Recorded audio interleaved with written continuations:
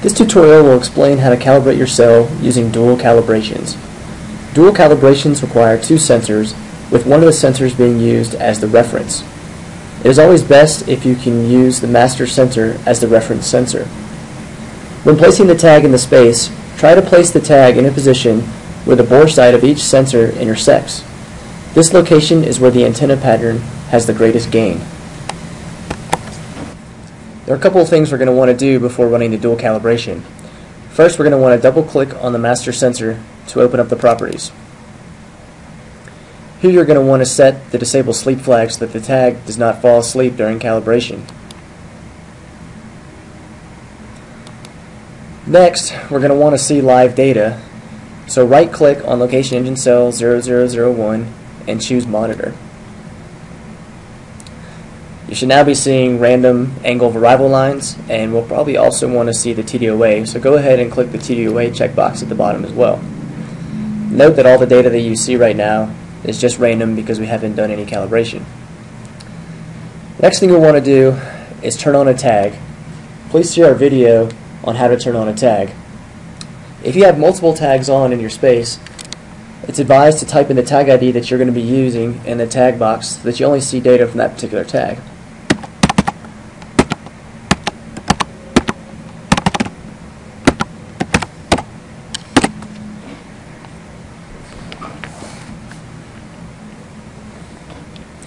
In this example, I'm going to do a dual calibration using the master sensor and sensor 1724. To do so, I'm going to right click on sensor 1724 and choose dual calibration. When the wizard opens, I'm going to hit the next button. I'm going to select my master sensor as the reference. I'm going to type in my tag ID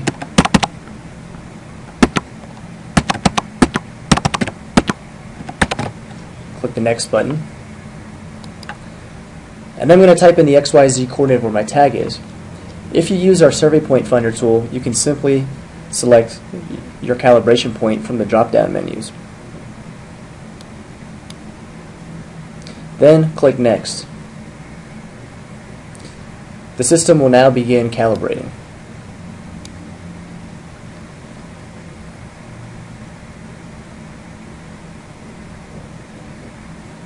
When it is finished, you will receive calibration values for both the master sensor and the slave sensor. One thing that you should note is that the pitches should be negative. If, for some reason, you get a positive pitch value, you probably measured your sensors incorrectly, or maybe your tag position was measured incorrectly.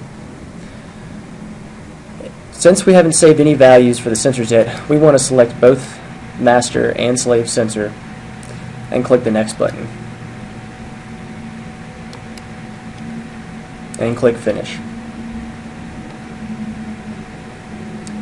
You can see that the angle of arrival lines are starting to converge where my tag position is, but we still need to finish the other sensors.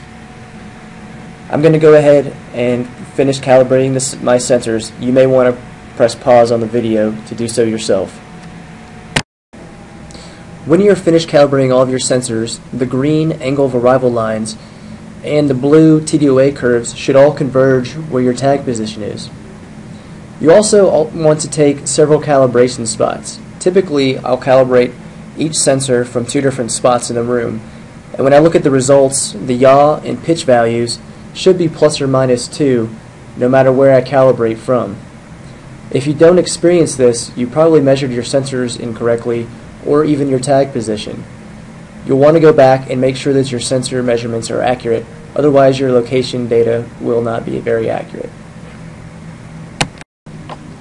When you have finished calibrating, you should select the leave trail flag and walk around the space with your tag. Then when you're done, you can pull the slider back and review the individual events as you walked around the space. What you should do is verify at several different places around the room that the angle arrival and TDOA lines converge relatively close to where your tag position is. If it does not, you need to go back and remeasure your sensors and verify that their positions are accurate and re-verify that your tag position is accurate and try the calibration process again. When you're satisfied with the results, make sure to double click on the master sensor and turn off the disable sleep flag so that the tag can fall asleep when it's not being used.